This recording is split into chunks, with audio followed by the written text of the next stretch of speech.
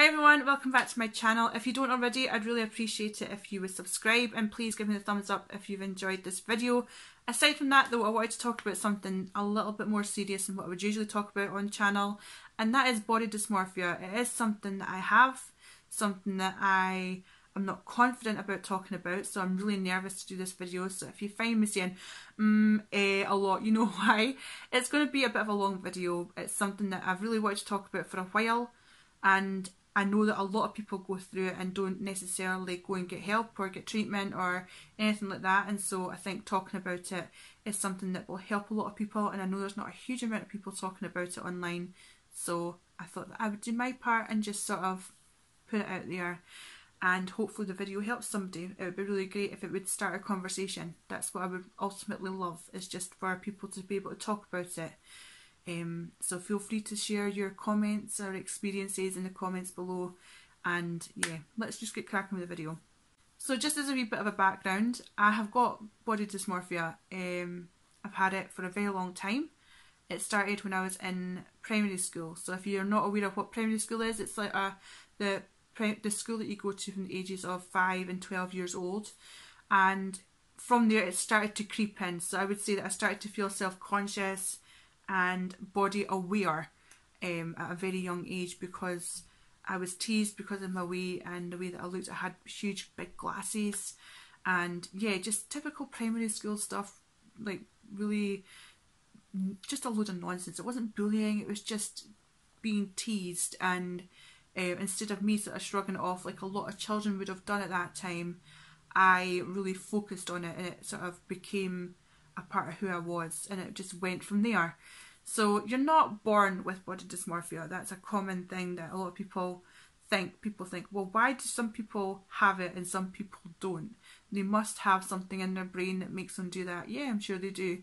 But um, I'm not really sure the science behind it, so I don't want to start talking like I'm a doctor because I'm not.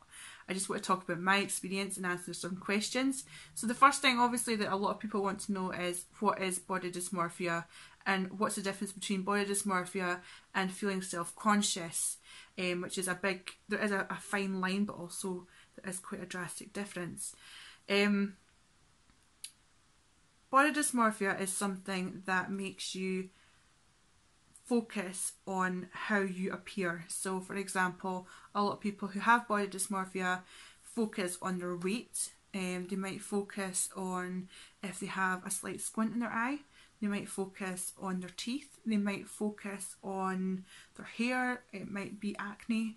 It might be something like that. But a lot of people go from one thing to the next, but hyper focus on it. Not just to the point where they feel self-conscious about it.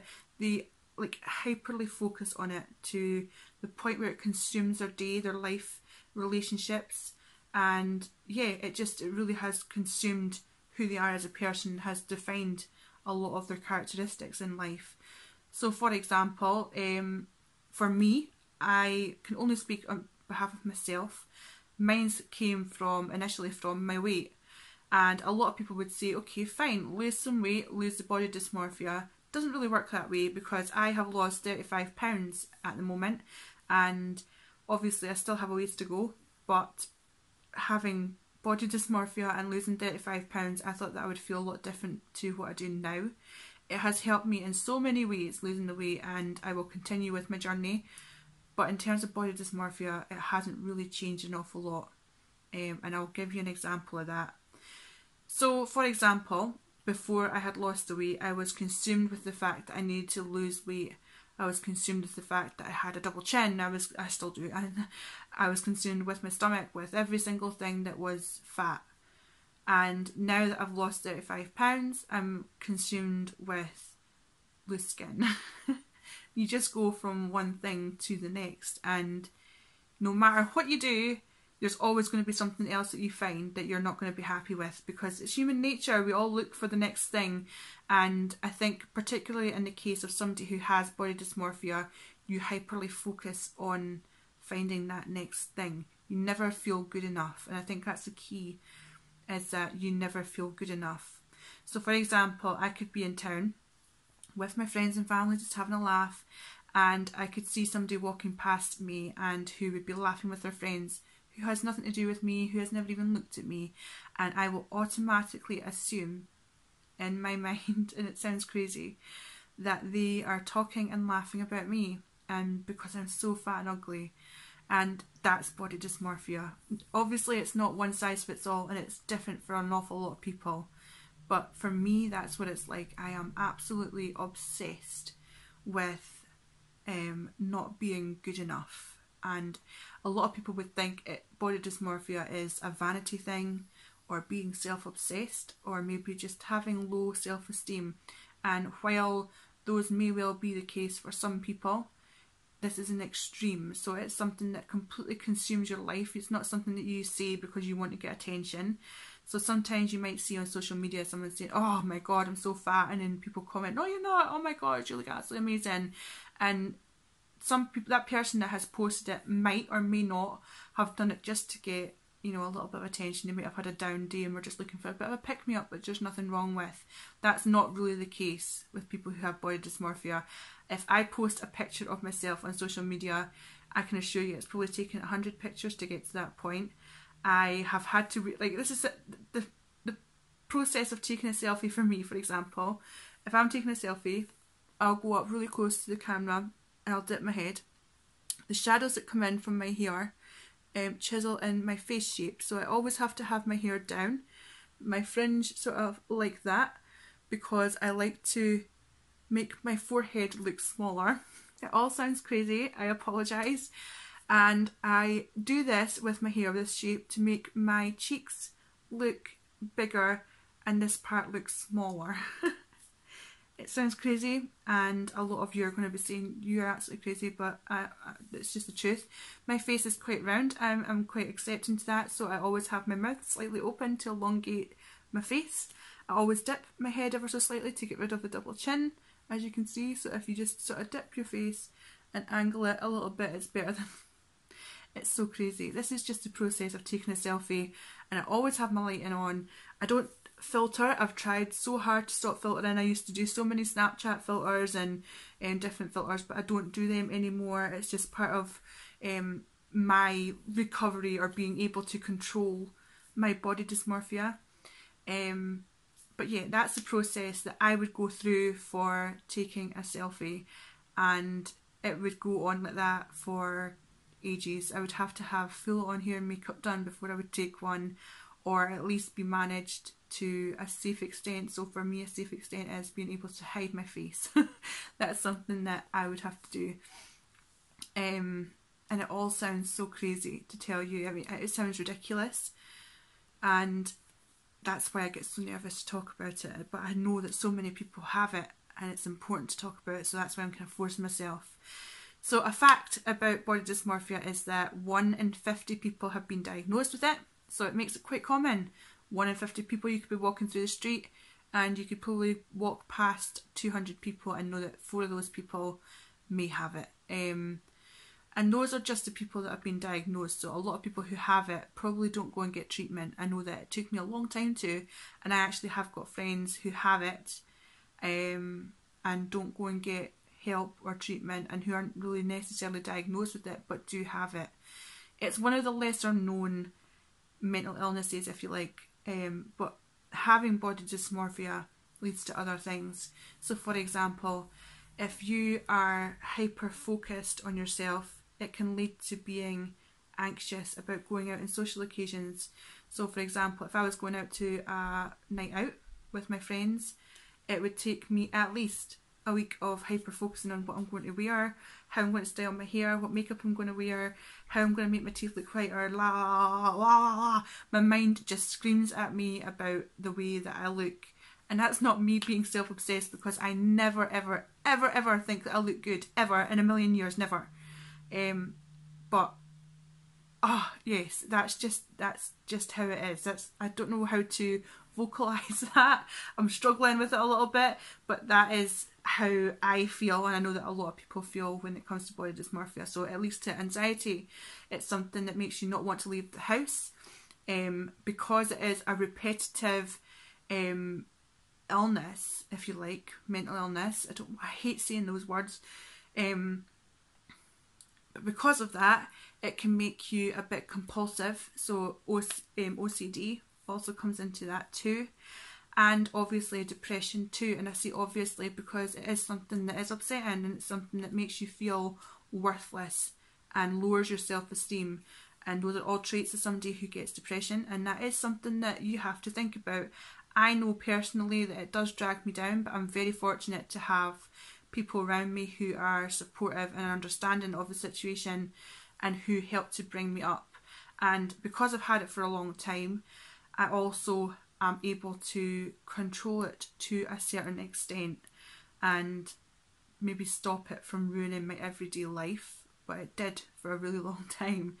And it has affected relationships and will continue to affect relationships to the point of view that whether that relationship is with your family or whether it's with another hat with your like a boyfriend or whether it's with um, your friends or whatever else, it does affect it because ultimately your self obsession with the way you look distracts you from other areas in your life and um, yeah that's how it affects relationships I'm so nervous I apologise again Whew. so another common question is how do you know you have body dysmorphia and not just um, just somebody who has low self esteem or body confidence issues? And the answer to that is you, it's it's difficult because there is a fine line. Um, somebody who has low self esteem and body confidence issues will have good days and bad days. Um, who will be able to say, okay, yes, my weight is out of control, but I can manage it by doing this, and I'm quite happy with myself after that. Um, people with body dysmorphia will always look for the next thing to be to focus on and to hate about themselves and will never ever ever feel good enough and that's how I feel. I never feel good enough.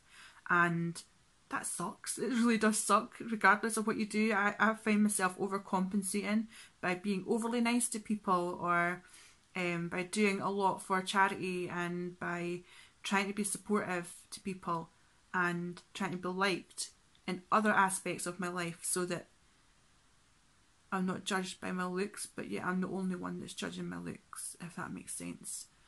And I think that's a defining point by is it goes by how much of your life it consumes. So if you can't stop thinking about it, which is my my everyday life, that's body dysmorphia. Whereas if it's something that you struggle with, like, oh, I don't know what I'm going to wear on a night out because I hate the way I look, or uh, I can't get my hair cut any shorter because it makes my face look round.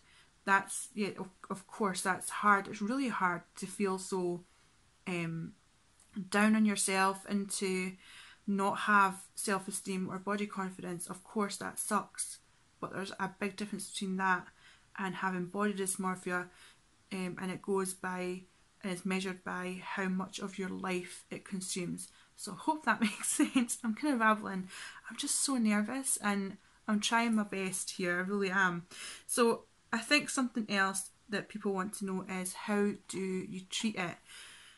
Um, it's difficult because treating body dysmorphia, there is no one size fits all. It's it's like most things in life. There is no one size fits all. It's like anxiety and other mental health issues um, everyone is different and will have different symptoms, different outlooks, different things that they want from themselves, and some people will cope with different um, treatments and therapies.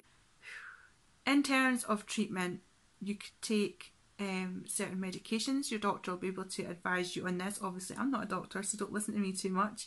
But your doctor will be able to advise you on this. Um, for the things I have been advised, um, the options to me were to go and have therapy, or um, were to do some sort of behavioural therapy online as well. Those were options too, um, to deal with it myself, and also medication was an option too. Uh, I am not keen on the medication route or anything like that, but some people like to do it and I completely understand it. So usually the medication that you would get would be a form of antidepressant and you would get a different dosage um, depending on how severe your case is. So just because it is a form of antidepressant, don't think that it is solely to treat depression. It is to treat a multitude of different illnesses.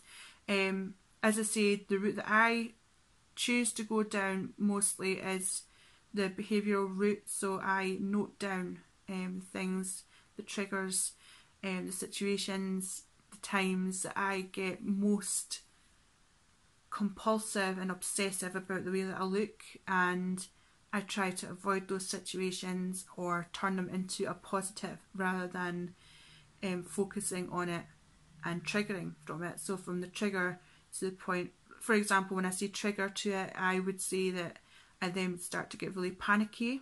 I wouldn't want to leave the house. I wouldn't want to see people. I would have a set routine about hair removal, about when I do my false nails, about false eyelashes, about tan, about everything. I just I have it, it goes on non-stop and what I would do at that point is kind of stop myself from going towards the triggers. Um, social media can be a trigger.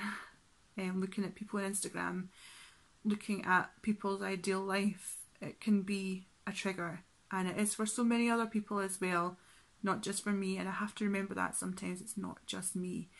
And I know that if you're watching this, sometimes you feel like nobody could possibly understand what you're going through and nobody could know what's going on in your mind. And I'm sure that's very true. Nobody can know what's going on in your mind, but people can understand and people can relate to you because you're not the only one that's going through it. And don't ever feel alone. That's the worst part of any mental illness is the feeling of being alone and sucked into this vortex of darkness where there's no way out. But there is a way out and it can be managed. My life used to be consumed by body dysmorphia to the point where I wouldn't leave the house and because I hated myself so much and I was convinced that everybody else would too. Now I'm able to go out, I have fun, I laugh, I drink, I am a normal, normal um, 31 year old girl and woman. scares me a little bit, but I'm a normal 31 year old woman and I can do normal everyday things without feeling like I want to cry every second of the day because I hate myself so much. And everyone can get to that point where they can manage it. It's all about how you choose to support yourself, you know, allow yourself some time to have some self care, allow yourself the opportunity to like yourself and that's something that I struggled with so much was being able to like myself and it's something that I work on all the time. Everyone has to. Everyone has to like it has to if you've got body dysmorphia, you know that it's something you will have to work on. It's not something that's gonna there's no magic potion. It's never gonna just be here one day and gone the next. You're gonna have to work on yourself. But you can do it.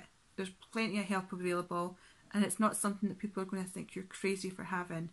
Um, I hope that you don't think that I'm crazy, and I'm already looking at myself in the viewfinder here. I can see myself in the, in the viewfinder, and I'm pulling myself to pieces about how I look. I can see one, two, three, four, five, six, seven, eight, nine things I'm already not happy about, and I'm trying my hardest not to nano focus on them it's hard, it's difficult, but everyone has things in their life that they have to go through.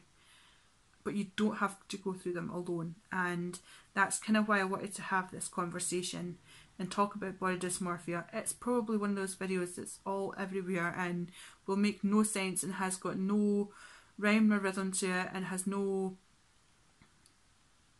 reason to help anyone. But I just want people to know that you're not the only one that's going through it and just because you see a happy girl on social media it's sometimes it's it's not real life sometimes it is sometimes it's not i feel different day to day minute by minute so yeah it's just something that affects me it affects 1 in 50 people like i mentioned before and that's just the people that have been diagnosed with it officially so you're definitely not alone and i would love it absolutely love it if you would just feel a little bit more open to discussing it and not so alone. I think that's the ideal thing that I can possibly hope for from this video.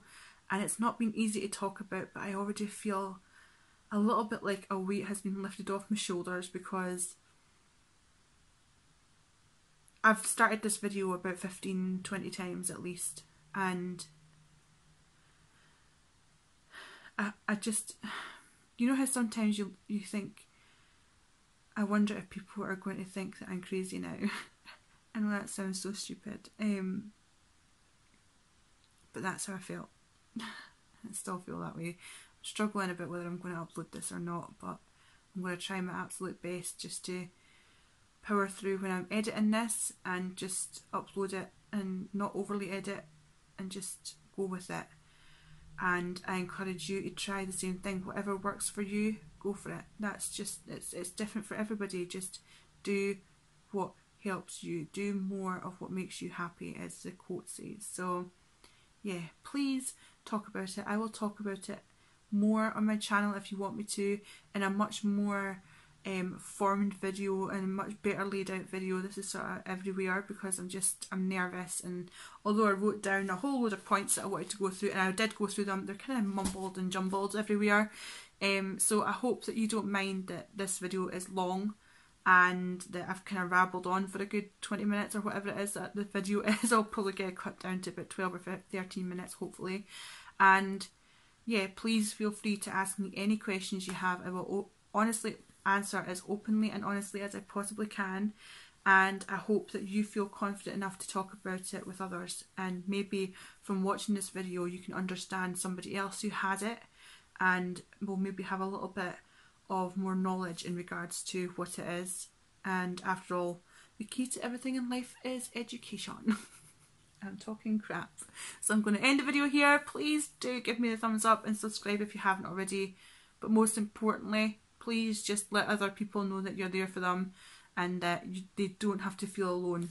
That's all you can ask for is just to help people where you can and to be helped where you can. Allow yourself to take help because that's something that I struggle with. So just take the help where you can um, because you're worthy of it and you deserve it. So yes, I'm going to finish this video. Thank you so much for watching and please give me a thumbs up. I will see you again in the next video. Bye.